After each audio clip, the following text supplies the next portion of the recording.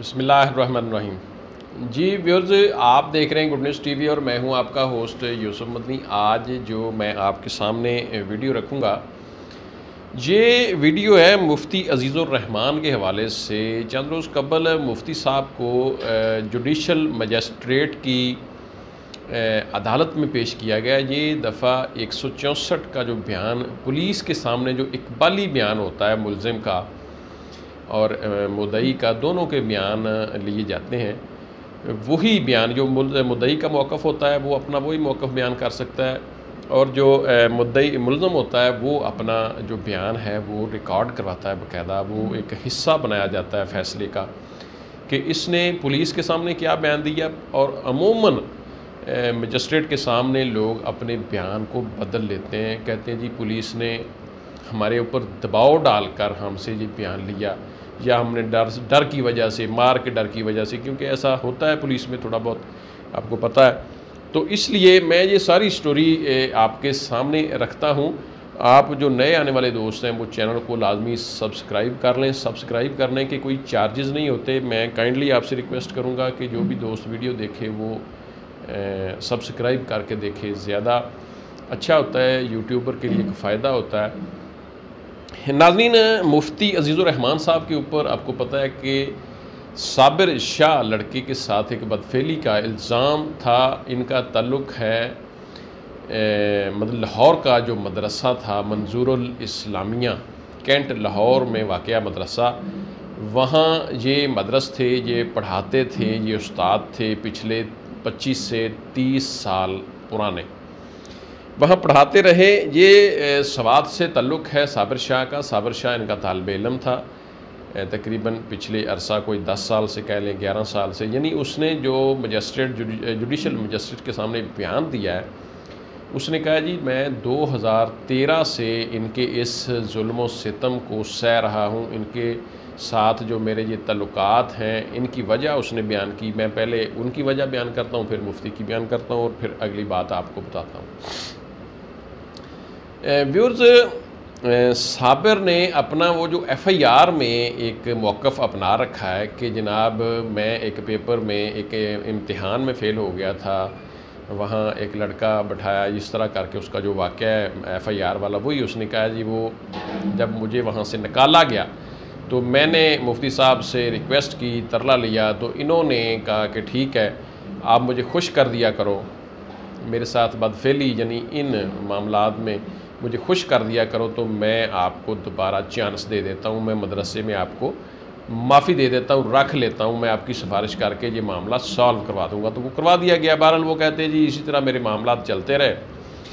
मेरा इन्होंने मेरे ऊपर एहसान किया उसके बदले में मैं इनको खुश करता रहा और मैं अब तंग आ गया था। मैं इस रोज़ रोज़ की इस बुराई से इस बदफेली से इस मामले से तो अब मैंने इनसे जान छुड़ाने की कोशिश की तो इन्होंने नहीं छोड़ी तो फिर मैंने वीडियो बनाने का सिलसिला शुरू किया और सारा उन्होंने वही अपना मौक़ अपनाया जो कि उनकी एफ़ आई आर में है।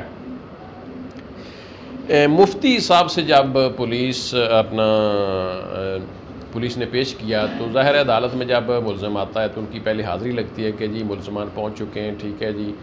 मजिस्ट्रेट साहब वहाँ मुलजमान, अगर मुलम या मुलजमान हों तो उनका बयान लेने के साथ साथ पुलिस का मौक़ भी लेना होता है कि जो पुलिस ने अपना ये इन्वेस्टिगेशन की है, उसमें जो मुलम ने बयान दिया है, पुलिस ने यही कहा जी कि मुफ्ती साहब ने अपने बदफेली के जुर्म को कबूल कर लिया है हमारे सामने।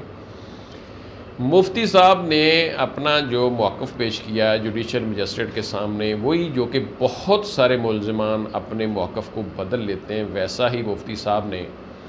अच्छा कुछ जो दोस्त कहते हैं जी, मुफ्ती साहब ने कुरान पर हलफ उठाकर अदालत में ये बात की कि मैंने ऐसे किया। मैं आपको छोटी सी एक बात बता दूँ मुफ्ती साहब के बयान से पहले। अदालत में ना एक पेज होता है, उसके ऊपर लिखा होता है कि मैं जो बोलूँगा, जो कहूँगा, सच कहूँगा, सच के सिवा मैं कुछ नहीं कहूँगा।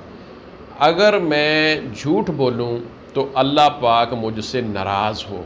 ये एक पेज के ऊपर लिखा होता है, अमूमन उसकी प्लास्टिक कवर उसको करवाया होता है और वहाँ अदालत में उसको रखा हुआ होता है। अगर ना भी रखा हुआ हो तो वकील जो है, वो ये जुमले दोहराते हैं। मुलम से, मुदई से, मे भी पुलिस वाले से भी दोहराते हो। तो उसके बाद वो बयान शुरू होता है। अब अदालत में कोई भी शख्स कुरान पाक नहीं ले जा सकता, ना ले जाने की इजाज़त होती है, क्योंकि कुरान पाक एक मुक़दस किताब है। और ये इसलिए नहीं है कि मुलजमान इसको अदालतों में उठा के फिरते रहें या मतलब ये इसलिए नहीं है। कुछ कह देते हैं कि कुरान पाक का हलफ हलफ उठाया, ये भी कुछ लोगों ने कहा जी कि मुफ्ती अजीज़ुररहमान ने कुरान पर हलफ उठाकर मजिस्ट्रेट के सामने बयान दिया, ऐसी बात नहीं है। एक पेज होता है, उसके ऊपर हलफ वही है। और ये बहुत बड़ा जुमला है किसी के झूठ बोलने के हवाले से, सच बोलने के हवाले से कि मैं अगर झूठ बोलूँ तो अल्लाह पाक मुझसे नाराज़ हो, अल्लाह पाक हर इंसान को सच बोलने की तोफ़ी दे। मुफ्ती साहब ने कहा, जी, ये जो बयान, अपना ये जो मामला है, जो पुलिस कह रही है, ये इन्होंने मेरे ऊपर दबाव डालकर, इन्होंने मुझसे बयान लिया है। अब भी ये मेरे ऊपर दबाव डाल रहे हैं। मैं एक एजड शख्स हूँ बूढ़ा शख्स हूँ मैं इतने अरसे से पढ़ा रहा हूँ। मेरे साथ ये एक मदरसे में एक साजिश चल रही थी उलमा के दरमियान, मुफ्तियान के दरमियान, या एक इंतज़ामिया और मेरे दरमियान। तो उस मामले के नतीजे में मेरे साथ ये सारा एक मेरे साथ एक साजिश रचाई गई है। तो मैं इस फेल में मुलवस नहीं हूँ। मैं बेगुनाह हूँ और मैंने ये साबर शाह के साथ बदफेली नहीं की। मुफ्ती साहब के कुछ बेटे हैं, उनकी बेल भी हो गई है। ज़ाहिर है उनके ऊपर वो इल्ज़ाम था, धमकियों, शमकियों का वो मतलब हो जाती है ऐसे मामलों में बेल। दो बेटों की ज़मानत हुई है। बहरहाल वो अमल मामला और मैं आपको शार्ट सा ये बता दूँ कि मुफ्ती साहब अपने बयान से मुकर गए यानी मुफ्ती अपना अजीज़ुररहमान साहब जो जुडिशल मजिस्ट्रेट होते हैं दफतीस के, उनके सामने जाकर जो पुलिस को उन्होंने इकबाली बयान दिया था कि मैंने बदफेली की है, ये मामला ऐसे है, मैंने किया है। वो मुकर गए हैं, पुलिस ने, मुफ्ती साहब का फ़िटनेस सर्टिफिकेट भी वहाँ पे दिया है कि इनको, इनके साथ कोई तशद नहीं हुआ, कोई जुल्म नहीं हुआ। ज़ाहिर है, इतना एजड शख्स है, उसके साथ पुलिस ऐसा करती भी नहीं है क्योंकि बंदा मर जाए, इतना मशहूर मरूफ एक आलम दीन, फिर मदसरे के लोग, फिर मामला बढ़ते हैं। तो पुलिस भी बड़ा फूंक कर पैर रखती है ऐसे किसी के साथ, क्योंकि आम मातड़ बंदे को चोर डाकू को या आम गरीब सादा इंसान को, ये बहुत ज़्यादा मार में बार भी देते हैं, आपको पता है, हमको पता है कि हमारी पुलिस जो है, वो किस तरह इंटेरोगेट करती है। तो मैं अपने नाजरन के सामने एक चीज़ रखूँ, फिर वकला के सवाल भी हुए। ज़ाहिर है, ये क्रॉस सवाल होते हैं। वकील जो इनका था, साबर का, उसने मुफ्ती साहब से सवाल किया और उसने उधर से तो उन्होंने वही बयान, अपना जो बयान शान बदल किया। उन्होंने कहा, जी नहीं सवाल साबर से जब हुआ, मुफ्ती साहब के वकील का, को जी आपने ये पहले भी बताया, उसने कहा, जी, मैं बताता रहा हूँ, मेरे साथ ये जुल्म हुआ, मैंने लोगों को बताया, फिर उसको बताया, इसको बताया, इसके बच्चों को बताया इंतज़ामियों को बताया। तो असदुल्ला फ़ारूक साहब को बताया। इस तरह मतलब मेरी नई सुनवाई हुई तो मैंने फिर वीडियो स्कैंडल लेकर ये वीडियो रिकॉर्ड करके बना के तो फिर मैं इसको वायरल किया था कि मेरी जान छूट जाए।